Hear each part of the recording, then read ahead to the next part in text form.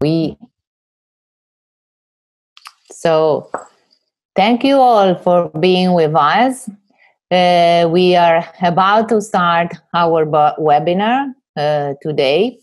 Uh, there are different uh, ways of interaction. You will see that today it will be a very interactive uh, meeting.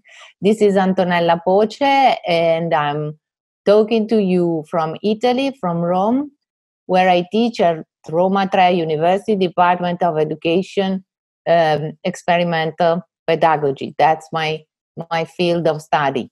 I'm EDEN Fellow, and I'll be moder- your moderator uh, today.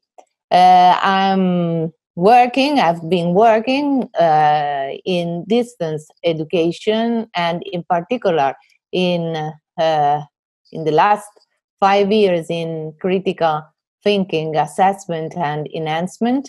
And uh, that's why I'm very much interested, as all of you, I think, in the topic uh, today you have the opportunity to meet uh, um, our our speakers uh, today.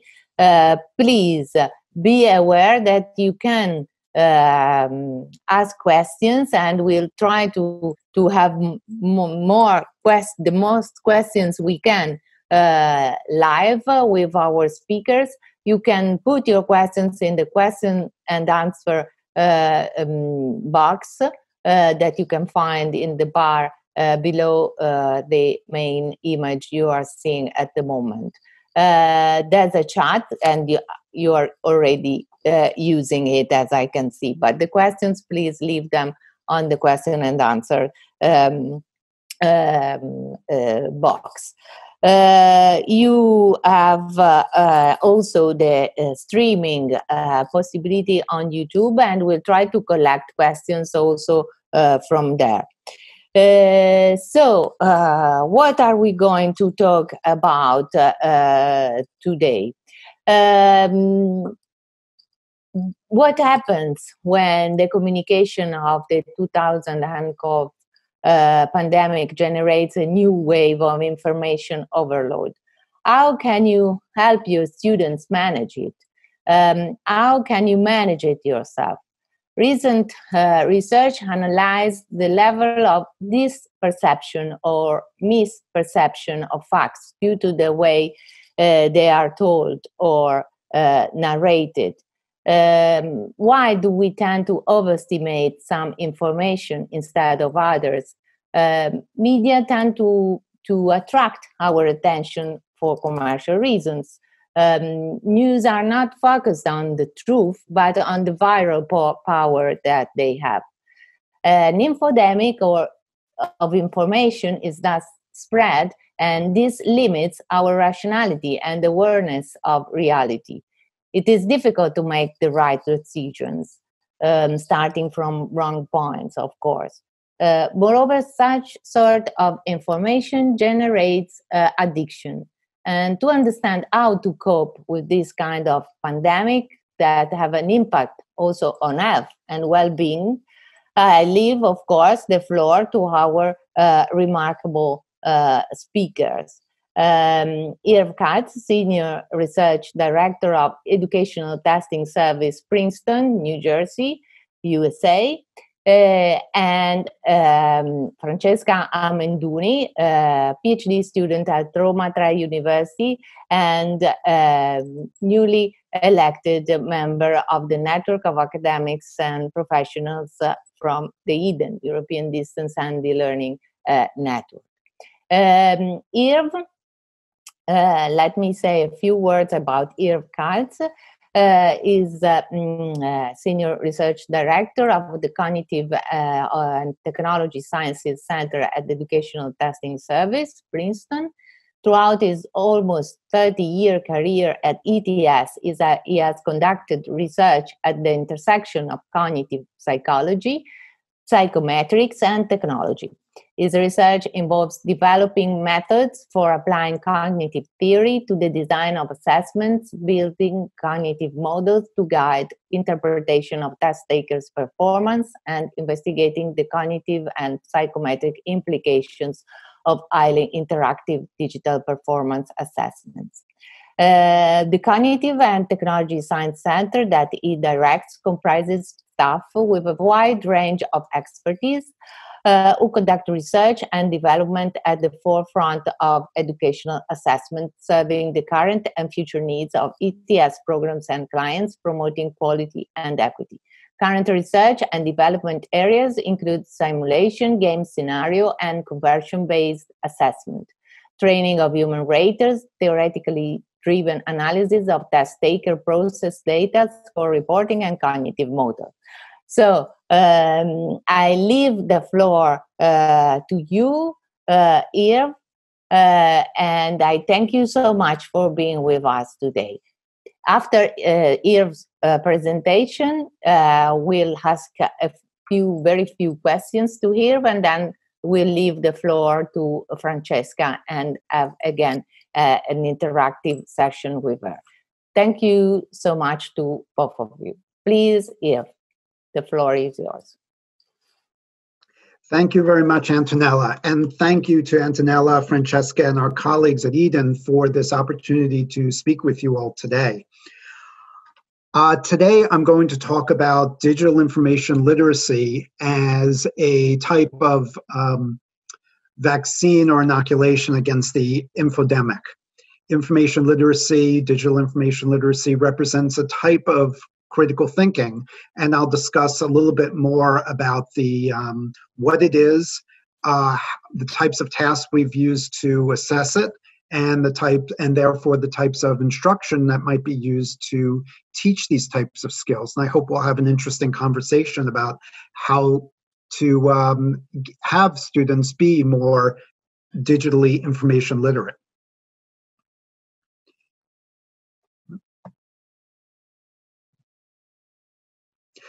There's a couple of takeaways um, that I'm going to return to at the end of the presentation uh, that I'd like you to think about as I go through the presentation. First off, often when we think about digital literacy, we often think about just evaluation of information. Is this information I'm reading about on a website, in the news, or on a tweet? Is this is this real? Is this biased in some way? And I'd like to point out that digital information, what I'll discuss is how digital literacy includes is a full range of skills, not just evaluation. In addition, although digital literacy is digital and related to technology, certainly, it is very much a cognitive skill. These types of skills I'll be discussing today have been discussed for years. They were first defined in some ways in the 1970s.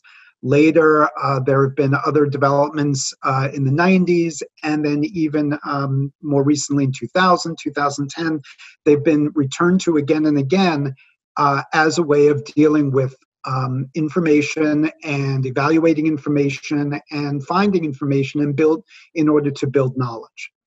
Finally, uh, the other point I want I'll be talking about is that digital inf- digital literacy, digital information literacy, is integrated. Although I'll talk about various types of skills that that comprise in, uh, digital literacy, they should be thought of all as part of a single whole. It's not a piecemeal set of skills that you can be better or worse on.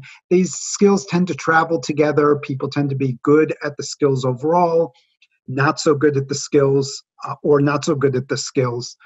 Um, so, although there are these different facets of digital literacy, you should think of them all as one integrated set of skills. So a key point that I that I want to make is that digital literacy is more than technology skills. Certainly nowadays, uh, students are very facile with technology.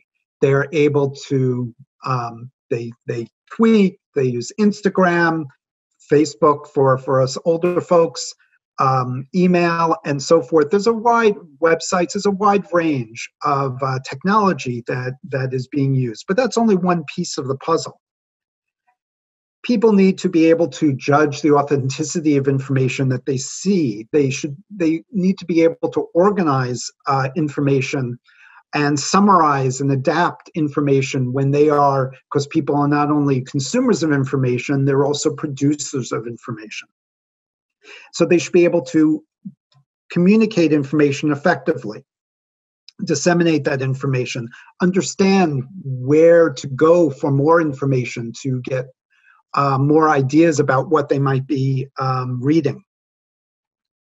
And you can think of all of these skills related to technology, but it's really a type of critical thinking that I think Francesca will be talking uh, more, more about.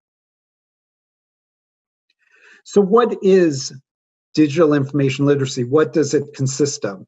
These seven skills uh, on, uh, on the right defining, accessing, evaluating, manage, integrate, create, and communicate uh, were uh, defined originally as part of digital information literacy uh, by an international panel, actually back in about uh, 2000, 2001, um, and later refined by representatives of uh, US colleges and universities, primarily people involved in the uh, library at US colleges and universities. Librarians, for many years, librarians have been the uh, keepers of what might be thought of as information information literacy. What makes uh, good information? How to find um, reliable information? How to define an information need?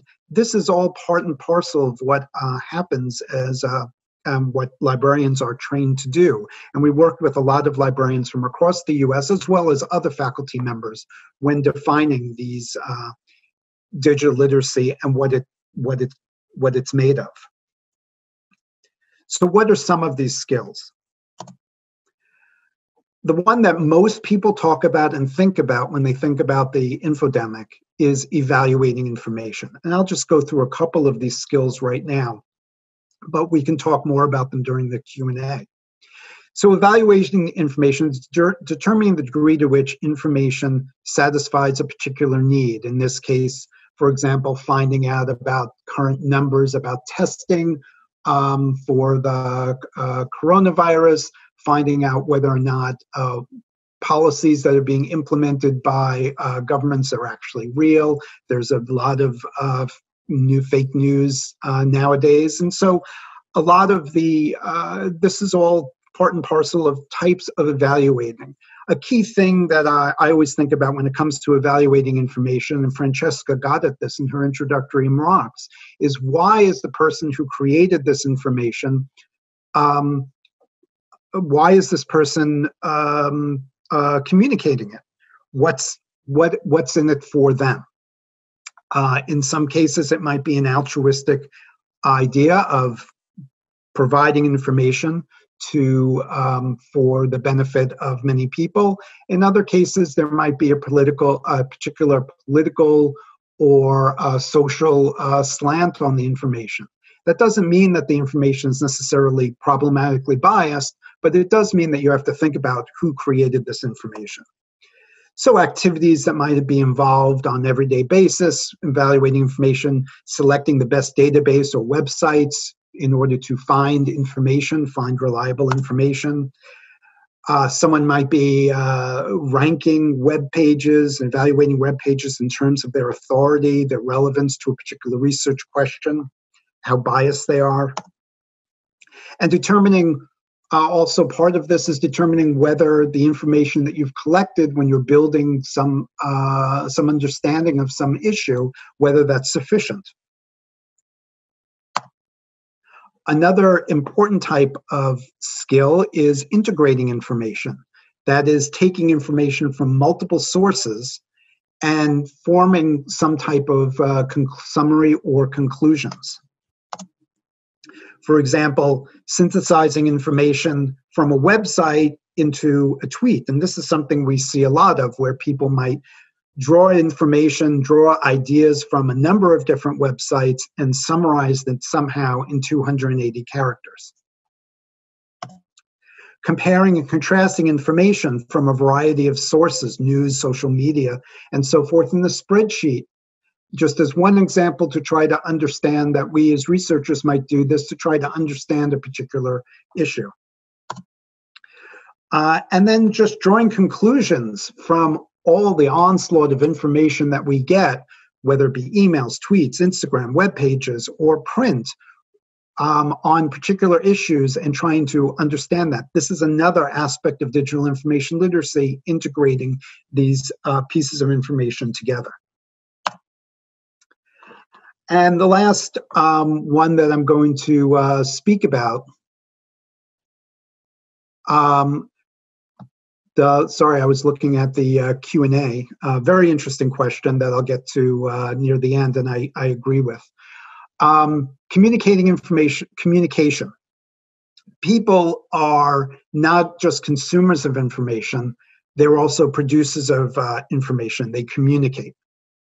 And understanding not only how to create um, TikTok videos, tweets, uh, inter- um, other video mashups, websites, and so forth, but how to communicate them appropriately to an audience, to tell them to the audience, to tailor them to the particular approach that you want to uh, take.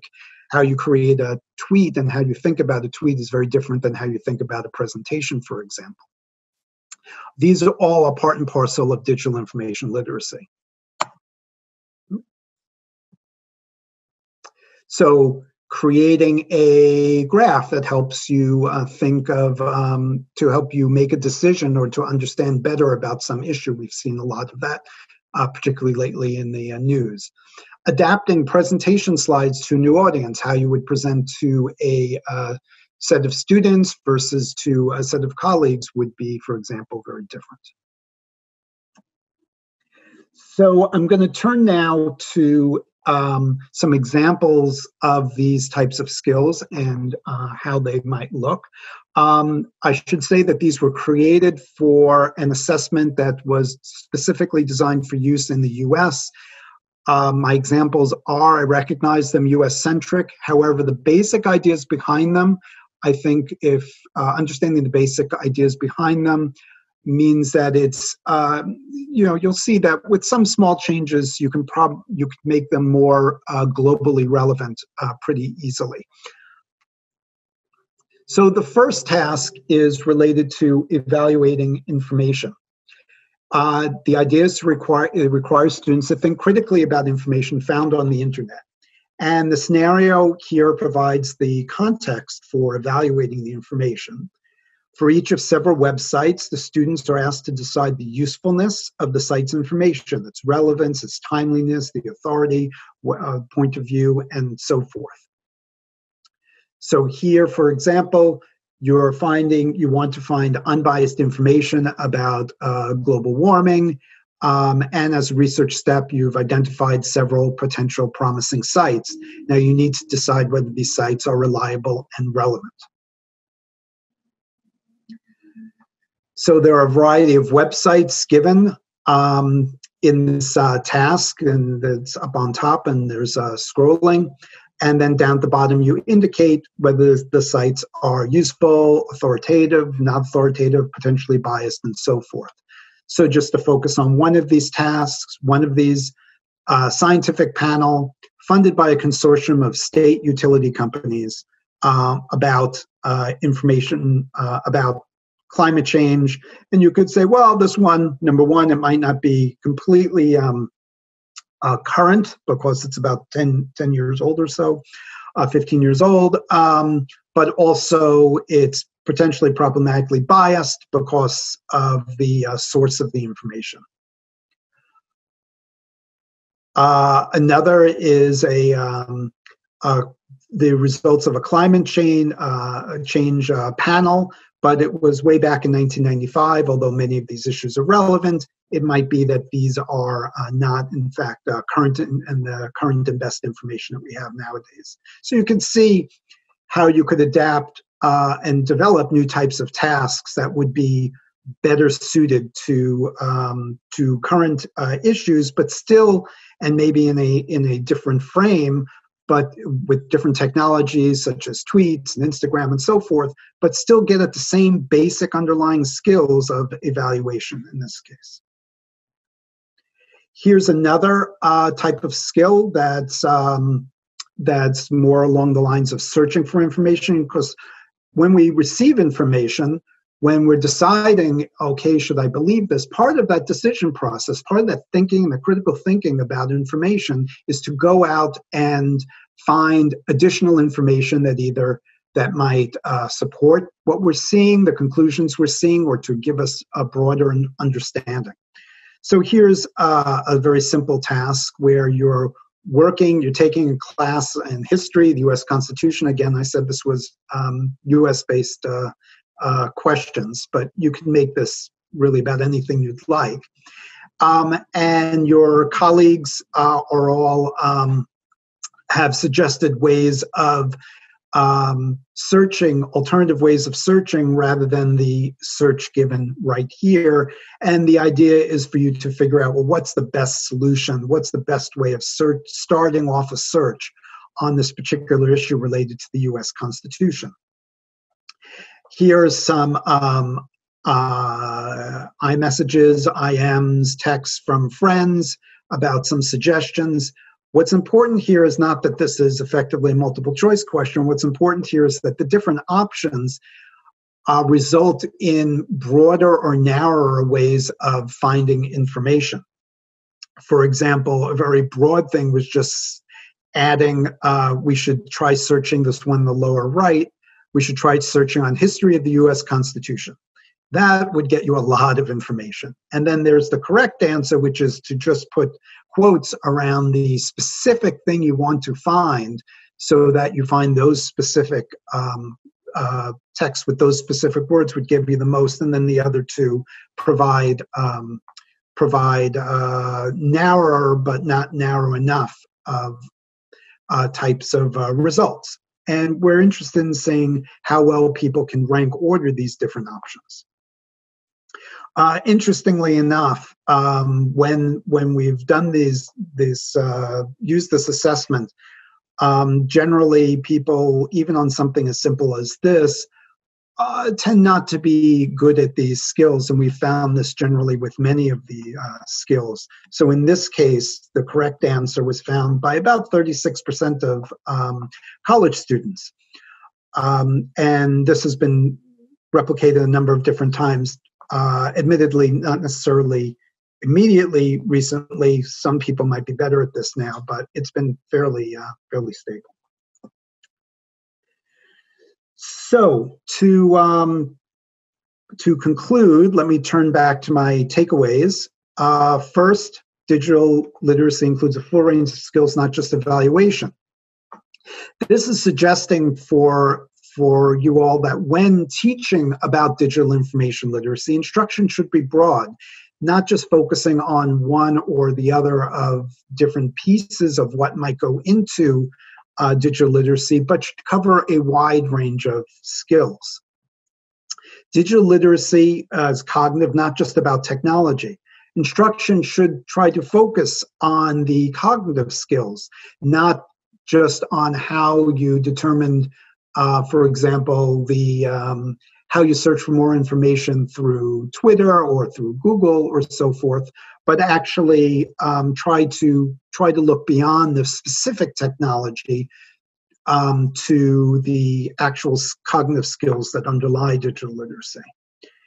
And finally, as I said before, digital literacy is integrated. It's not these piecemeal things. Often instruction tends to focus, um, when I've worked with um, instructors in the past, tend to focus on one or the other of these uh, various skills to the uh, detriment of, of some of them. The instruction should not only be integrated, but pervasive.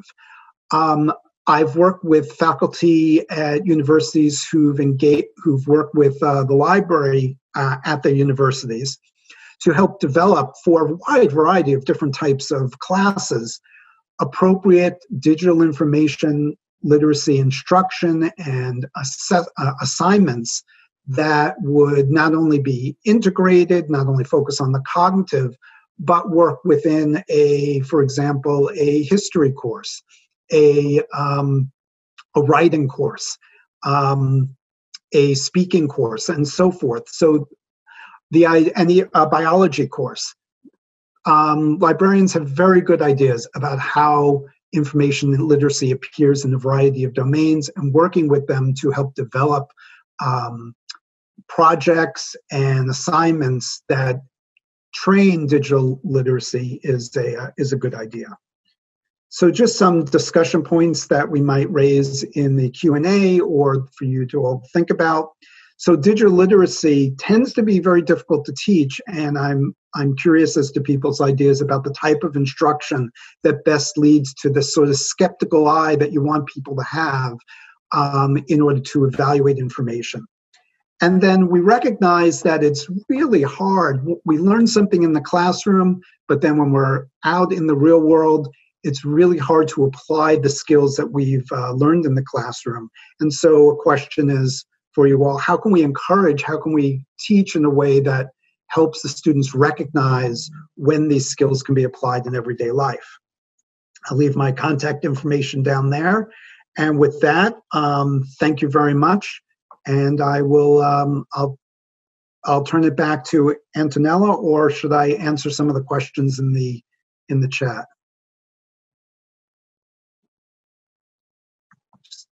So I'll go to the Q&A. To unmute my, my mic. Uh, thank you so much for your presentation uh, here. Uh, yes, there are uh, different very interesting um, questions coming from, from the audience. And uh, I wish you could uh, um, ask to um, the, yes, this, this, this, this question um, especially that is in in the chat and i think you can read it.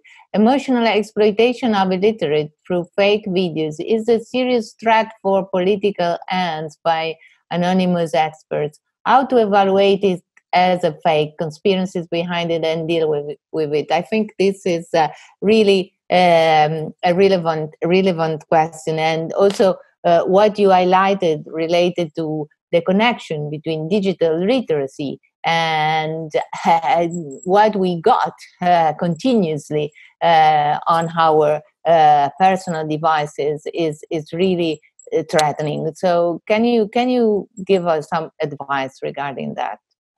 This is a really good, relevant point mm. that we've seen a lot of lately, especially with the um, ability to create what what's now been calling deep fake videos. Um, one of the one of the approaches that I that I've taken when I when I look at these is not only is to um, number one always look for the source of the information. How much do we know about who who is either posting this or where this information came from. Um, that will in turn lead you to um, to and if you can find the source of any information or it's um, there's no way to find out about the organization or what have you that created it then you you you obviously need to doubt the uh, information but the other the the trickier one is that what if we are seeing these um, fake videos um, that actually are showing things that we agree with. That's actually probably one of the cases where students need to think more carefully about. They're seeing some video, they're going along with it, and those are the ones where we're most likely to be fooled because it's agreeing with our worldview. And those are the ones where it's most important to uh, seek who is the author of this and what potential um, um, ideas that this person is trying to promote. Yeah, in fact, uh, the, the the issue uh, there is is exactly uh, that uh, mm, the media are tending to um, to focus on what can be viral, and so they mm-hmm. they they focus on uh, not not tracing the truth, but going uh, to find people's um, agreement. So what was more, more most popular uh, will be uh, most viral, and that's the thing that we we should look for um, in in our way of. Uh, transferring information to our to our students, but also enhancing their critical thinking skills. And we are going to to learn more about that with uh, Francesca's presentation. But I want to pick up uh, another question from the audience, and then we'll uh, we'll move. Uh, uh we'll move um, uh, to the second presentation, but I'm telling the audience that uh, we're going to answer, uh, we'll try to answer all of your questions um, also uh, afterwards. So don't worry if we are not going to, to ask all the questions to our presenters. Um, another question is that um, when, from Vlad, when digital literacy skills are very low, it is difficult to protect oneself from the infodemic or, or fake or irrelevant news. Could you point us to a free online course for people who have low digital literacy skills, or maybe a European European will be difficult, maybe uh, for for Irv to ask to answer, but but we'll we'll try to to answer uh, about that also with uh, Francesca. But Irv, can you tell us um, how can we protect from the infodemic or fake or irrelevant news? Something you already told us, but um, well, I'm afraid that I don't know. So I'm more in the assessment world than in the instructional world, although I've worked with um, colleges and uh, university professors before. Um, but I do know that um, UNESCO at one point several years ago had developed a information literacy, digital information literacy. I think at the time they called it ICT literacy um, instruction. I don't know what the current state of that uh, is is right is though. Um, I can certainly um, yeah, I'm sorry, I, I don't have a, I don't have a good answer for that. Um, but, but, if anybody but, else in the audience does, yeah, but but but Francesca, I'm sure will give us more uh, more information about that. There are different, also different European projects developed to uh, try to answer uh, and to give some directions. Um, the other, the, the last one, and then we'll leave the floor to Francesca. Um, how would you differentiate digital literacy from digital fluency? Well, it really the the words themselves are not uh, i've heard these exact skills and in fact these exact skills i've discussed as digital fluency the words change a lot digital literacy digital information literacy ict literacy um, the hard part and you could say the same thing about uh, critical thinking which i believe is the, the topic of francesca's talk it really boils down to not the label, but the uh, how you define the specific skills. Um, are you focusing more on the technology and the facility with the technology? Uh, sometimes people use that digital fluency to mean that, um, but or are you focusing more on the uh, cognitive skills that that exist uh, beyond a particular um, particular technology? Yes. Thank you so much here. So we'll try to be back to both of you in the end if there will be time so to have the possibility to answer more more questions uh, but uh, i'm going to introduce you in a minute uh, francesca uh, amenduni as i said she is uh, hmm, um, um, PhD student at Roma Tre University, but newly elected member of the Network of Academics and Professionals uh, EDEN Network. Um, she studies, she's, she's PhD student in education, culture, and communication at Roma Tre University. She has developed her expertise in the learning field, both as practitioner uh, and researcher at national and international level. She carried out research on blended learning, and her current PhD project regards semi automated assessment of critical thinking, short essays, and open ended answers. Uh, part of her research has been developed at ETS Princeton, uh, where she spent a term period as visiting student, uh, funded by the Italian Ministry of Education and Research through the Leonardo da Vinci Scholarship.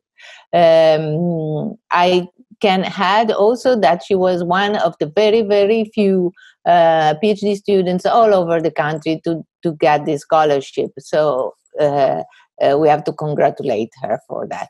And she has been working as a researcher in several European projects in the field. So that's why uh, I was telling you uh, in advance that she's going to give you some feedback on where to collect information about courses related to um, digital skills enhancement support and especially cross-sectional skills development.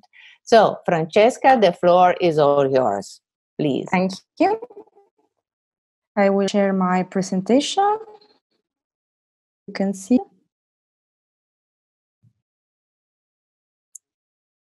Mm. No. Okay, sorry. Sorry. Okay, now you can see my presentation. One moment. Okay. Okay. Um, thank you to be here with me today. Uh, today, I feel more than ever the responsibility of what I'm saying, and I will try to share reliable and trustworthy information because I don't want to contribute negatively to the current infodemic. So I will speak, uh, I will provide you a definition of what infodemic is, and I also will try to speak with you about some uh, research results of the current infodemic. Then we will speak about uh, uh two antibodies for uh, infodemic that uh, I think that could be critical thinking and digital literacy. And uh, finally, we will speak also about innovative methods to assess critical thinking and digital literacy. So, um, um, we know that the current uh, pandemic is strongly related with technological progress, for better and uh, for worse. One of the effects of the technological progress related with information is also known as information overload. The idea is that with internet we receive more information that, than uh, the information that our mind can understand and uh, process. When the, the, phenomenon of information overload meet pandemic, we uh, are in front of uh, what World Health Organization call infodemic.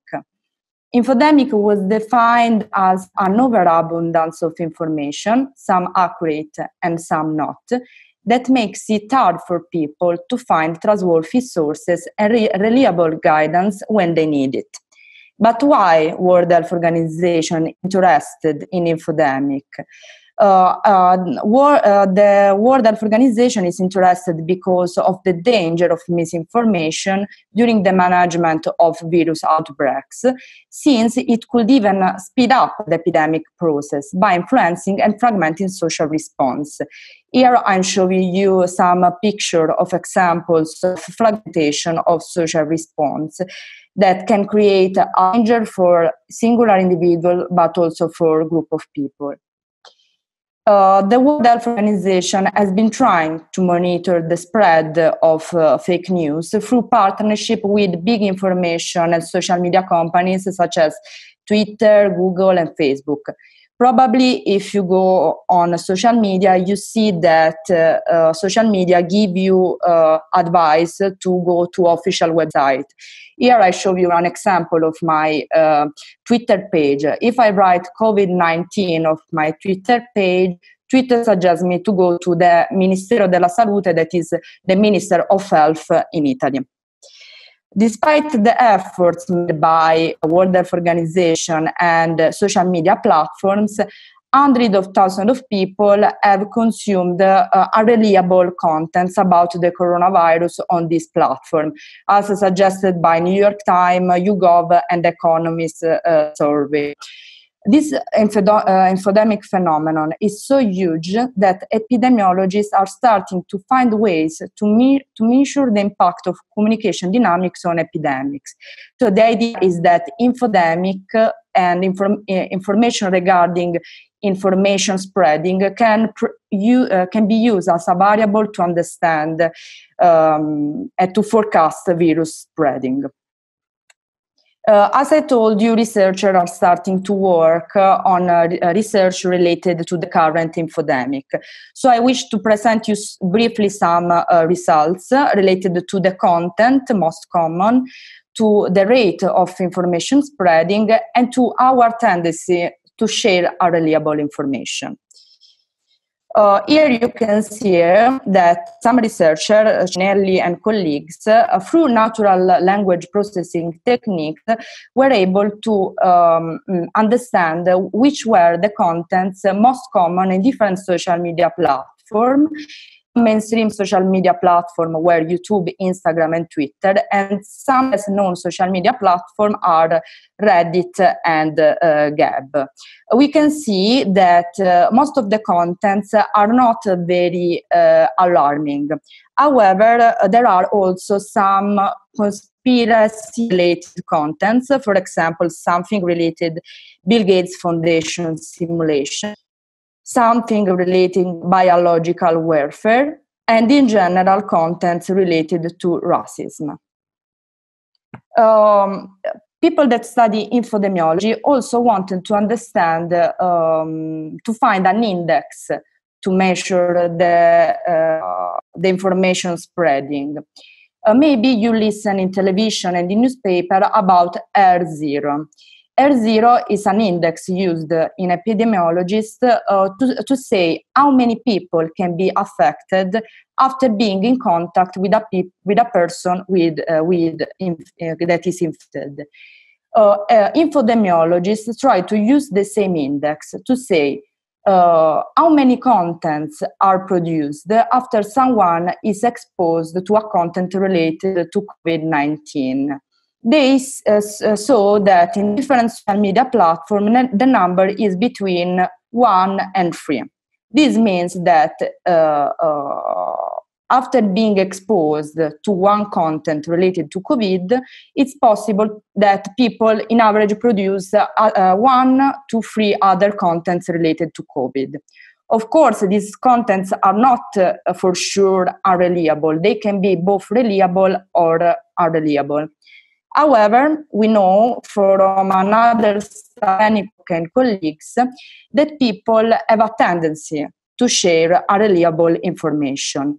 Uh, researchers asked the participant to consider a mixture of true and false headline about the COVID-19 outbreak. When participants were asked to judge the accuracy of the statement, they said that the fake news was true about 25% of time. However, when they were asked if they would share the headline, around 35% said that they would share unreliable content, 10% more than the, in the other condition. So, uh, researchers suggest that uh, even if people uh, can uh, discriminate between uh, f- uh, misleading information in a good percentage of the case, when they were asked to share, they are more um, uh, prone to make mistakes. What can we learn as educators from this epidemic?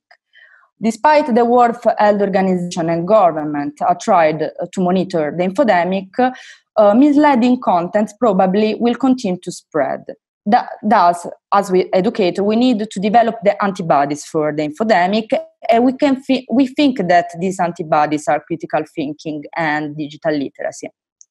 We learn also that the methods that uh, people that study infodemic use uh, can be also adopted uh, researchers and educators to study contents that for example uh, uh, students share in online discussion forums uh, so, uh, as uh, um, uh Dr. Katz uh, uh, said before, I will speak a little bit more about critical thinking.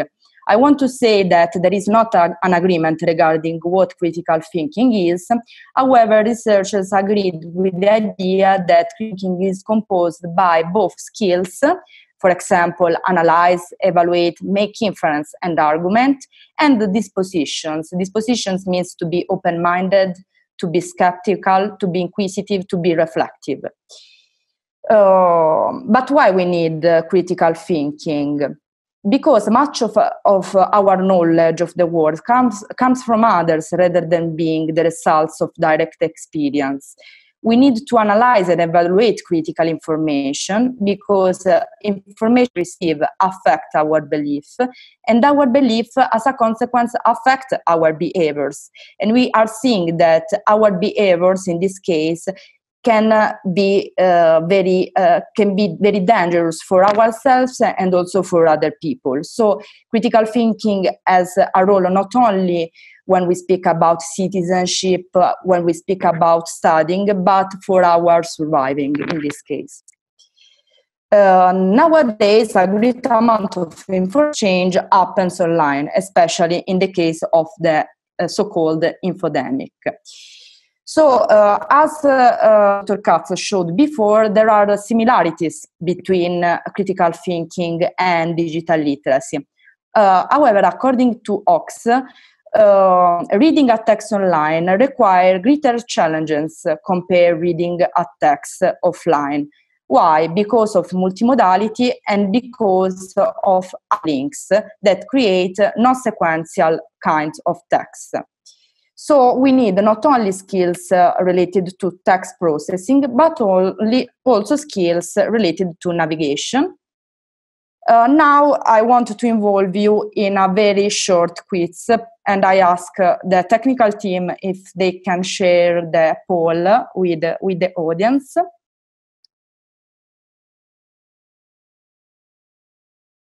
Sorry.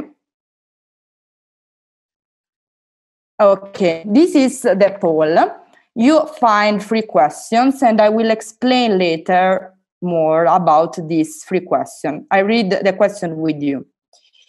Uh, the first one is Emily's father has three daughters. The first two are named April and May. What is the third daughter, daughter's name?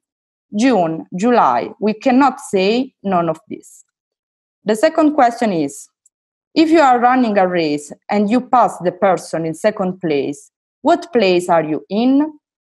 First, second, we cannot say none of this. The third question is a little bit more challenging because it requires you to go to the Ox website. You are not you, you you don't have to do it, but if you want to challenge yourself, you can do it you have to go to the data section of the Ox official website and look for data relating to employment in the ICT sector, ICT employment.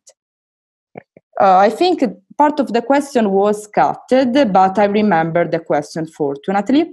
So it is uh, which country has 4.7% of employment? Maybe I can write you in the chat so you don't have difficulties to remember. Okay.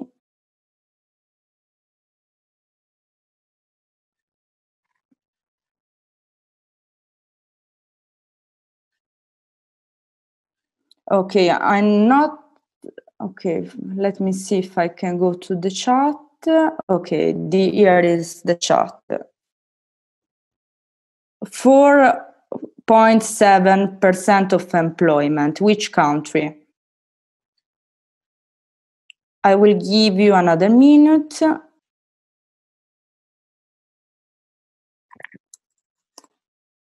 Percent of employment.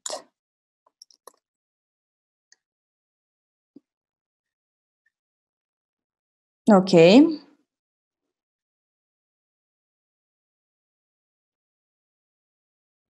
Let me know if uh, all the questions are clear. You can write in the chat. I'm reading you, especially with the third question. Okay, all clear. Thanks. I don't want to disturb you. Other few seconds. Here we go on. I will explain soon the reason of, the, of these questions.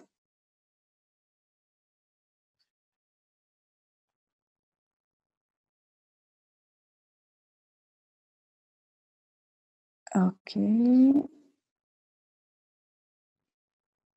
We cannot see the chart.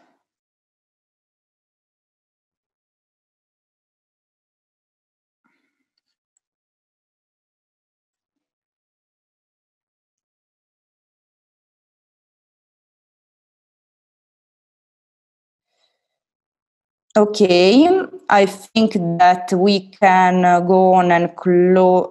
We cannot see the, the, the card, but are you uh, are you speaking about the Ox website, or are you are not seeing the poll? I don't know what you mean but uh, i need to go on. So maybe the technical yes because i will i will speak later. This is about our digital literacy skills. So with this uh, the data from ox. If you go to the website of ox you should see in the data section but maybe later i can show you some uh, way, the way to solve this uh, task so I uh, I will go on. Will uh, speak about uh, um, this uh, uh, assessment uh, me- method. The first two questions were not aimed at assessing critical thinking skills, but they were more related with the critical thinking disposition. The, the two items were taken by the cognitive reflection test that is open and if you want you can access on the publication watching uh, the item and this test is aimed at seeing if we are able to inhibit our um, uh, our fast and spontaneous answer. For example, in the first item about Emily's daughter, uh, the um, the first answer will be June because uh, uh, the the item asks you about the em- uh, Emily's daughter. The name of the Emily's daughter were April and May. So the first answer that everyone has in mind is June. However, the correct answer is Emily because, uh, of course, Emily's father has three daughters. One is April, May, and the other one is Emily. I'm so, sorry, Francesca. Do you want me to share the results with the attendees of the poll? Um, maybe we can show it now. Yes, we can show it now if you want. Yes. Okay. Okay, so in this case, the correct answer would be none of this because uh, the correct answer would be Emily. The second question was taken both by uh, uh, also by the uh, cognitive reflective test, and the correct answer was uh, second. Was the second. So also in this case, we are uh, we ask ourselves to inhibit the first answer. And uh, okay, perfect. the correct answer in the third question was Japan. The third question was taken by um, the Web Trotter Challenge, that is a challenge realized in Italy to assess uh, digital literacy of students in high school. And uh, this key, uh, this uh, that question was aimed specifically at assessing the skill of um, navigating and a goal, goal directed navigation. So I hope that these examples could be used by you for designing your test. However, I will share the slide with you and you can find all the reference uh, that you can uh, uh, consult in order to design your uh, assessment test. I didn't show you assessment method to assess critical thinking skills because they are uh, uh, larger and more um, require more efforts, of course, because critical thinking requires effort. So let's go on how can we, de- we de- develop digital critical thinking skills? Research highlights that social interaction and language are fundamental tools for the development of higher order cognitive skills. And when we speak about language, we don't speak only about verbal language, but also mathematical language, figurative language, artistic language. So the critical activities could be deep reading, not only about texts, especially literary texts, because they are more complex, but also pieces of art. And uh, I would suggest you to look at the massive open online course realized by National Gallery of Art in Washington, D.C., because they created a very uh, uh, um, beautiful uh, educational resource to understand how to develop critical thinking through art. Another exercise that you can use is writing exercise, especially essays. and thirdly, dialogic interaction, both online and offline, from a Socratic uh, tradition. Uh, the good news that are working at the moment online is that online dialogic interaction could be even more, even better than offline interactions. And this because uh, online interaction allow more time for reflecting and allow people during their argumentation, for example, to uh, to use more references compared to asynchronous uh, discussion. However, uh, if you have big classes of students and you want to monitor uh, discussion forums, it can be challenging. Thus, um, recently, educators with cognitive scientists and uh, computer scientists are working to, together and they developed a new research that is named Learning Analytics and Educational Data, data Mining there, uh, there is a growing number of attempts to automatically analyze critical thinking related sub skills through natural language processing techniques. And uh, Professor Poce and her team, uh, in which I am included, work on uh, this. And uh, however, mm, this is a new field and we need more research. And our goal is to support teachers in the future, providing them tools to monitor critical thinking of, of their students in a discussion forums.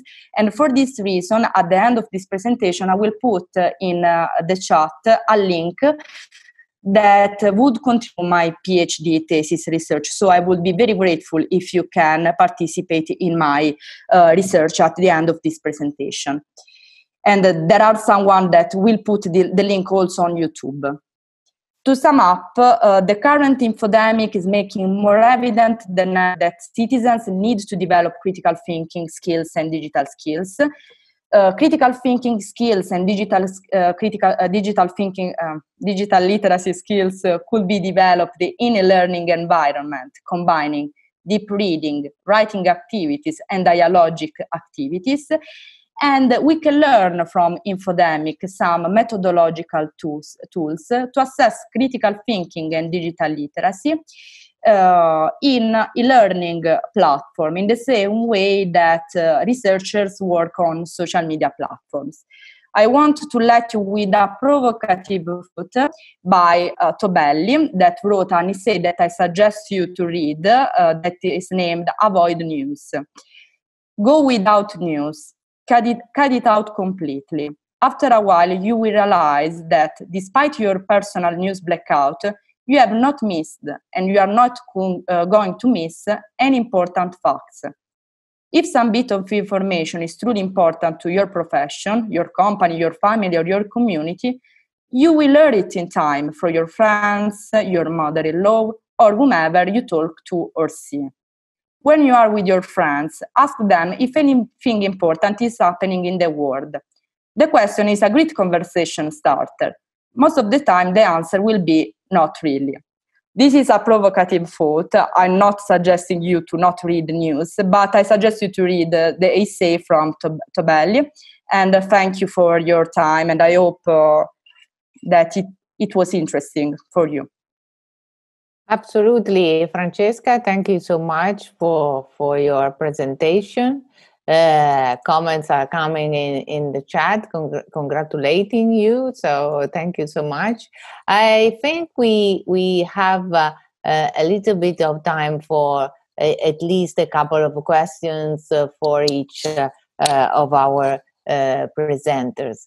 Um, I wanted to to to start with Irv, and then we'll come back to to Francesca with a very interesting um, topic that actually has uh, a, a, true impact on on health and and well-being.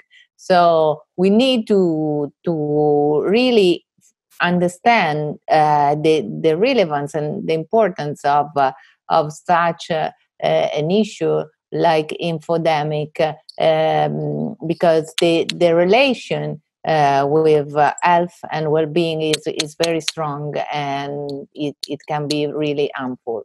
Uh, Irv, my question to you comes from from from the audience, of course, and is related to the topic of metacognitive skills.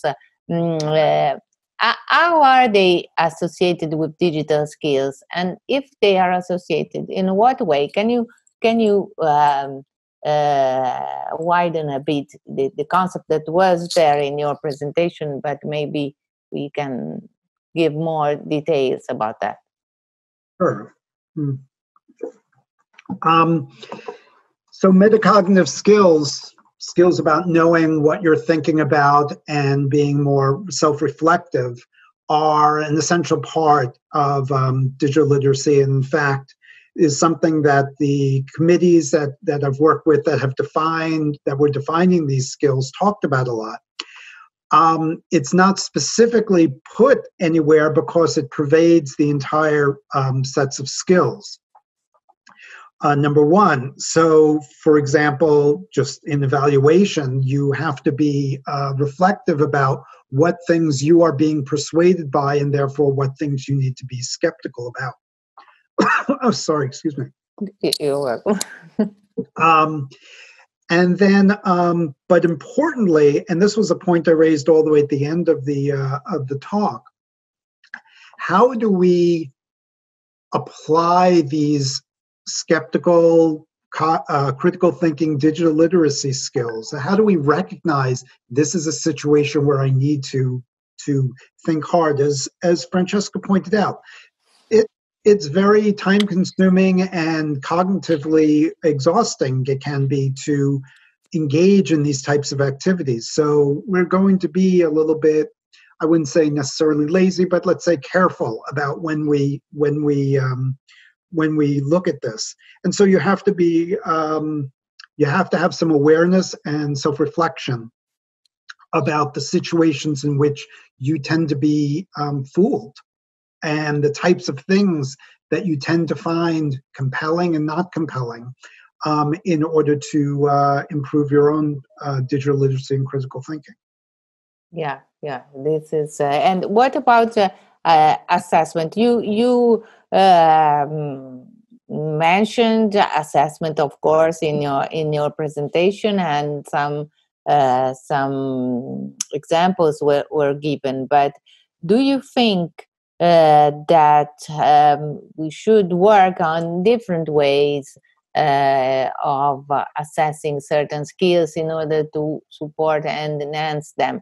I know that uh, there are different problems in, especially in um, reliability and validity, uh, of course. But um, can you tell us, you know, which is which could be the direction assessment could take also to help uh, the enhancement of, of certain skills?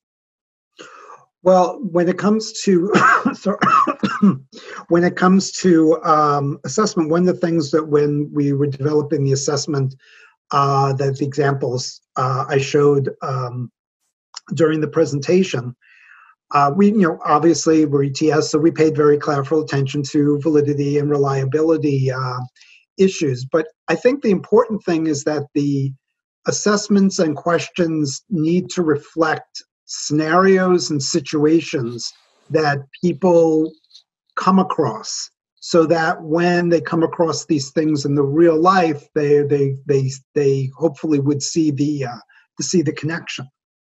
Of course assessment is just a measure and we're measuring how well people can recognize these situations. They do know that it's an assessment so that that means that it's um, they might not um, they might not apply the skills uh, in the real world, but um, instruction should uh, focus on a wide variety of cases and situations, and ideally bring in things from the person's own um, own experience and life, so that they begin to see the connections between what they're, for example, learning in the classroom and what's actually happening in the uh, in the real world. These aren't new ideas, but when it comes to digital literacy and critical thinking, they're important because recognizing the situations in which you need to apply these skills is um, is critical.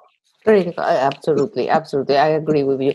So, um, Francesca, Uh, can, can you give us? Uh, mm, uh, I have l- lots of questions, but but uh, um, I would like you to uh, um, expand on the relation that um, deep reading um, and um, relevant cultural issues um, could bring to critical thinking enhancement. I mean, um, relevant cultural uh, references uh, could be in, in the literary world, could be in in the art uh, and heritage world. So, uh, which is the relation that you could see, and how we could exploit the availability of heritage resources in order to to expand to support uh, critical thinking skills? Uh, thank you for the question. Um, I will start uh, with the literary text and then we can explore also what's happened with pieces of art. Literary texts, uh, especially classic one, are characterized by complexity. So when you read a, lit- a classic text, usually you uh, can find very different lo- lo- layers. So uh, you can read, read, read again, and um, train and uh, train in this way your ability to analyze to and evaluate so this is uh, one of the reasons why literary texts could be uh, exploited uh, by um, uh, teachers that want to develop critical thinking in uh, their students. And in the same way, pieces of arts could be used to develop, for example, inquis- inquisitiveness. So um, students can focus on details presented in pieces of arts and try to make inferences, hypotheses regarding why that element is presented in that kind of pa- painting what is the reason why the artist put that element in that painting. So uh, these are some reasons why uh, literary texts and pieces of arts could be used. And uh, with the um, in relation with pieces of arts, we have a methodology named visual thinking that has been shown to be very useful for uh, the development of uh, critical thinking. Thank you, thank you. Um, yes, that that's why we we we need to uh, increase uh, cultural um, heritage uh, fruition in different in different ways. So there are, there are different different reasons. Um, there are lots of other questions uh, I would like to ask you, but time is uh, uh, really uh, running. Uh, we will have the opportunity to answer uh, your questions um, in in you know also asynchronously. Um, this um, th- there are questions related to, to projects uh, going on uh, um, on uh, our topics, and we'll, we're going to to uh, to give you information related to to those uh, projects. We have many uh, going. Uh, I would like to remind all uh, the audience uh, that uh, we are going to have uh, to go to, to give you other opportunities to participate in our online together initiative. Um, the next uh, opportunity uh, will be uh, it's very very very close because immediately uh, next uh, next Wednesday uh, we are going to have a webinar uh, promoted by EDEN through the network of academics and uh, professionals. Um, that is uh, due on on Wednesday, May 13th, and the title is very intriguing. Again, teaching online competencies, debate in a post-confinement uh, scenario.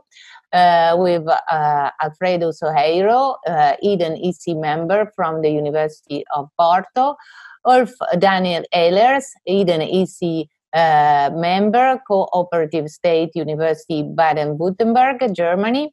And uh, the webinar will be moderated by Francesca Amenduni as a newly elected um, Network of Academics and Professional uh, Steering Committee member. Uh, the next uh, EDEN Online Together uh, initiative webinar will be on May 18th, uh, always at 5 uh, Central um, European summertime.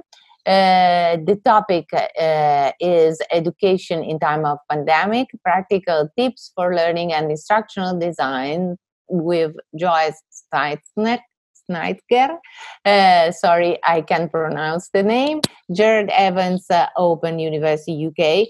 Gilly Salmon, uh, UK Academic Director at Online Education Services, and will be moderated by Fabio uh, Nascimbeni.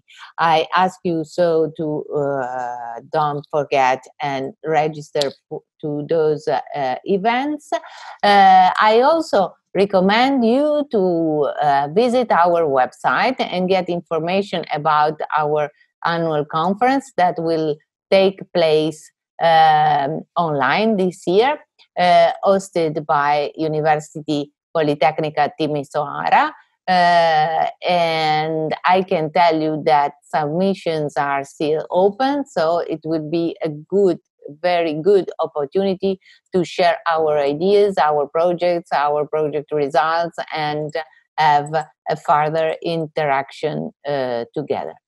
Uh, I think it's all for today. I thank you uh, again, our presenters, uh, Irv uh, thank you so much for being with us today. I am confident that there will be more opportunities to talk about critical thinking development and assessment. Uh, thank you, Francesca, for your very live present and interactive presentation. Uh, you will have the opportunity as um, uh, NAP steering committee member to promote more your research and your uh, findings. Uh, thank you all. Thank you to the Secretariat that hosted uh, the meeting.